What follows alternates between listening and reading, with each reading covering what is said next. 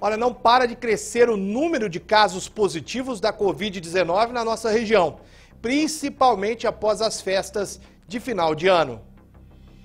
Pouso Alegre registrou mais de mil casos positivos para a Covid-19 em 10 dias, segundo o boletim epidemiológico da Prefeitura. O alto índice de contágio se deu logo após as festas de fim de ano, quando a UPA chegou a registrar mais de 500 atendimentos em um único dia. Ainda segundo os dados da Prefeitura, o percentual da vacinação contra a doença em Pouso Alegre está acima da nacional e estadual. A vacinação acontece nas unidades básicas de saúde Cidade Jardim, São Cristóvão, São João e Pão de Açúcar, no Puericultura e também na Casa da Cultura. Machado publicou um decreto proibindo a realização de eventos até o final deste mês. Os protocolos de segurança contra a Covid continuam sendo obrigatórios. Já Passos destacou que em espaços fechados a lotação máxima deve ser de até 200 pessoas.